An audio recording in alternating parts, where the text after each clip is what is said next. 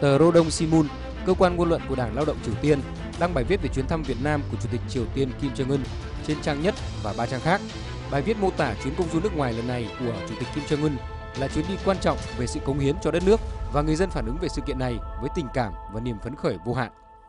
Cũng theo Rodong Sinmun, các nhà máy, mỏ than và những nơi làm việc khác khắp Triều Tiên tràn ngập tin về chuyến thăm Việt Nam của Chủ tịch Kim Jong Un. Rodong Sinmun còn đăng nhiều bài bình luận với những quan chức cấp cao, thể hiện cam kết nỗ lực đạt mục tiêu sản xuất trong lĩnh vực kinh tế. Hôm 24 tháng 2, hãng thông tấn KCNA đưa tin Chủ tịch Kim Jong Un cùng một số quan chức cấp cao Triều Tiên đã lên xe lửa tại nhà ga Bình Nhưỡng vào chiều 23 tháng 2 để đến Hà Nội dự cuộc gặp thượng đỉnh với Tổng thống Hoa Kỳ Donald Trump.